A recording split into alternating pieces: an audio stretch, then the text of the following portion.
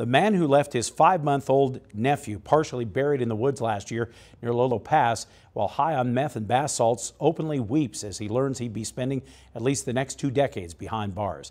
33 year old Francis Crowley pled guilty to criminal endangerment and child criminal endangerment last month. Authorities say the child was in Crowley's care at the time. Crowley and the child's mother were camping in the area, and when others noticed the baby was gone, they called the sheriff's office.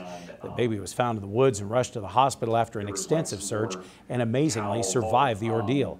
Crowley delivered an emotional outburst addressing the judge and others involved in the case. This has completely changed my life. It doesn't matter what sentence is that I get. I'm just oh, like, it's done. Like, I need help though. I'm gonna go to prison. What? Who am I? I'm a rat.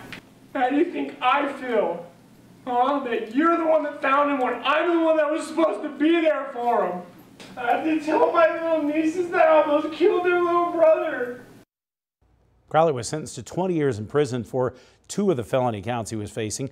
On another felony count, Crowley was sentenced to 10 years, but that sentence is suspended. The state also moved to dismiss one of the charges in that case.